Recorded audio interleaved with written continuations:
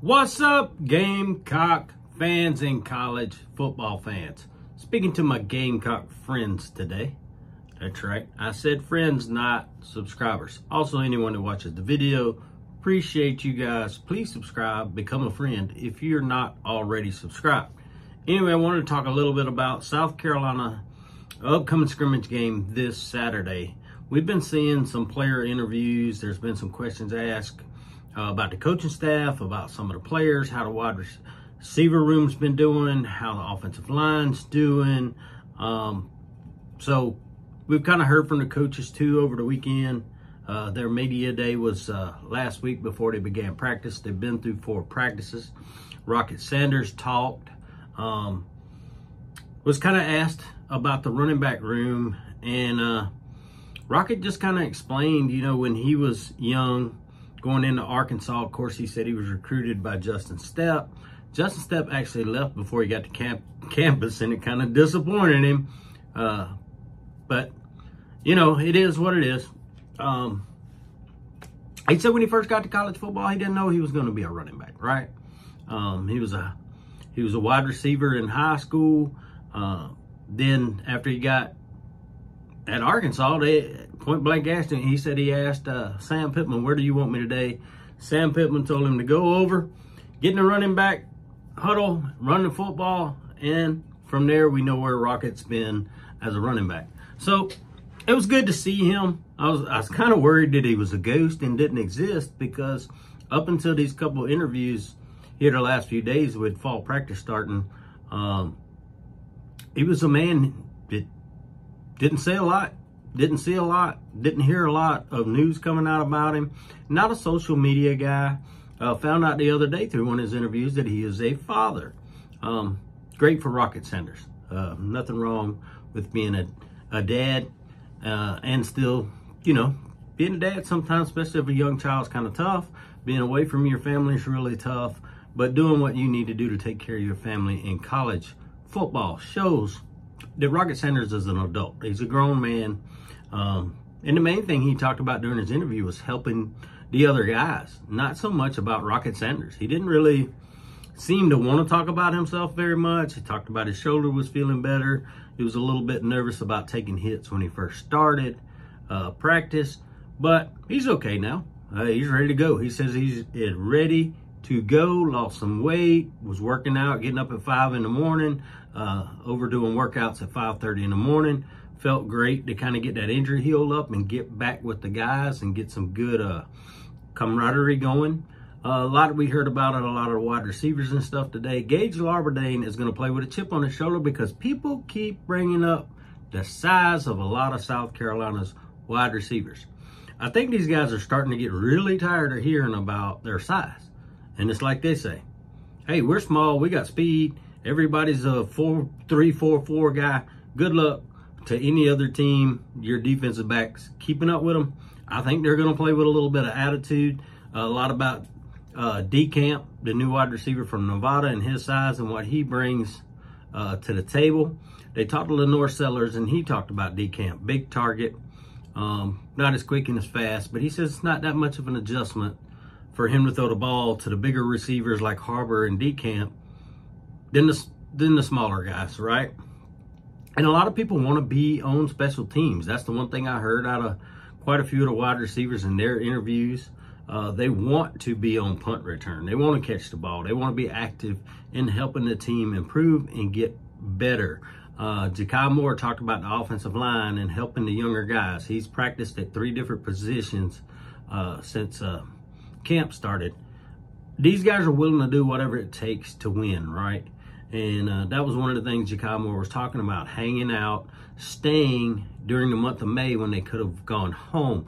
Rocket Sanders brought up that same thing about being around in May doing his rehab instead of, you know, going home or doing whatever these guys got to do when they were they were supposed to be off, but they were in putting in the work, uh, a lot of stuff was brought out about all the extra things that the team did during the summertime to try to get everybody together um, and build a team, right? Uh, love your brother, take care of your brother. Jakai Moore spoke highly of loving Big Tree and Trovon Baugh. They call him Trey. Uh, uh, and wanting to teach them and be around them and they have fun and they cut up and they laugh. I guess Big Tree has a sense of humor. And you could kind of see he was a bubbly kid in his interview. This past weekend, I watched the, uh, when they talked to him, and he looks like one of them big boys you just want to give up, run up and give him a hug, right? He just likes to laugh and have fun. So I can see that with Big Tree. Um, and it's good that the guys can laugh and cut up because it's about to get even more difficult. One of the things they talked about is adjusting to the heat. They asked uh, Gage Larvadain that, and he talked about, you know, being from Louisiana, was kind of used to the heat when he was Louisiana, but then going up and playing for Miami of Ohio, it was a little bit cooler up there. So adjusting back to the heat at South Carolina. Uh, you know, Dre, they call him. Uh, Jacobs, the new wide receiver from Florida State, kind of talked about the heat too. But I know that kid had to be in the heat because I live in Florida and I was just in Tallahassee and it's hot up there.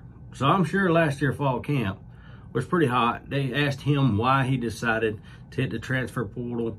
Instead, he didn't really care for the, the offense um, that Florida State was going to run or ran. Uh, he looked at uh, Dow Loggains' offense, loved what it was and decided he wanted to be at South Carolina.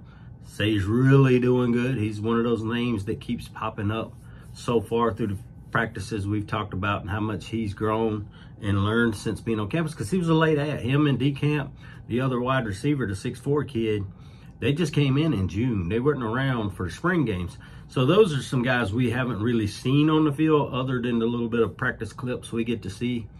Um, so excited to to see those guys, excited for those guys, right? They really sound like in their interviews, they're ready to get the season started and play for the University of South Carolina. They're happy. And that's what we want from our players, right? I know there's been a lot of talk lately about recruiting, losing some recruits, some guys that want to go somewhere else. Look, if they don't want to be here, you you wish them well, you let them go. Um, the the the Twitter things back and forth with parents or recruits or with that that's just silliness. There's no need for it. There's no call for it. Um, like I told everyone in my video last week, look, if a kid doesn't want to come here, he doesn't choose South Carolina, or he transfers out of South Carolina after a year. Sometimes transfers, they go somewhere else to play, right? We saw a lot of kids transfer out of South Carolina last year to go to smaller schools so they get playing time and they can play. And with the transfer rules, they can always transfer back to a bigger school if that's what's supposed to be in their future. Um, so, I, look, it is what it is right now. Recruiting is where it is. You work on it during the season. You'll have guys show up at football games. Um, it's not over until they sign somewhere else, right? So you have till December, early signing period, to add recruits, flip recruits, uh, a lot of things have been talked about about maybe some of the guys we did miss on. They may end up flipping back to South Carolina. We'll see how that works out, right? I don't know. I, it's hard to say. You're you're talking about kids that are 16, 17 years old. Uh, and somebody, you know what I'm saying, they still have their senior season of football left to go. So I don't, I'm not getting too worked up about the recruiting right now. Uh, Beamer's had a good mix of recruiting plus bringing in transfers uh, in his last couple years. So, you know, if you miss on recruiting, you try to get some guys out of transfers.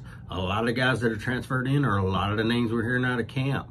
Um, it's going to be really good. The two receivers we I just talked about, uh, linebackers. You, you, built some depth through the transfer portal uh, with Bangally and Knight.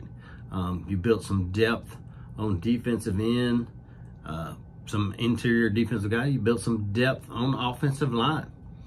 Um, you built, I mean, you pretty much brought in some guys, no matter where you look on the field, whether it's the defensive backs, with Gerald Kilgore coming in. so I, I just think you build depth. You also, some of these guys are really young, right? Juwan Howell was just a freshman last year. Uh, Jacobs, uh, Dre, I guess that's what they call him, the wide receiver. He's a, he was a redshirt freshman last year at Florida State. Um, you just look through the room. You didn't just bring in transfers, but you brought in guys that's going to be here for a while, right? There, it's not like a one and done situation. It's guys that will be here for three to four years and develop through the system also. So it's almost just like getting a high school recruit. Um, you know, when you get to older guys, uh, it's probably due to maybe you're really lacking in one spot um, that you really need to bring in experience and guys that have been on the field. Uh, like the, the Knight and uh, Kamara, the two linebackers, those guys have playing experience. They've played in games, you know. And like I told someone the other day, both those linebackers have been clocked at 22 miles per hour. That is fast for some big linebackers. I mean, I can't outrun them, I promise you. And I'm smaller than they are, but I'm also old. I can't outrun too many people. My days of running are about over with unless there's a, yeah, no, there's no bears chasing me. But anyway, just wanted to bring a little update on South Carolina, uh, how camp's going. Anxious to see how the scrimmage goes this weekend. Wish I could make it to Columbia and watch it, but I won't be able to make it up there. Uh, just too much to do at work.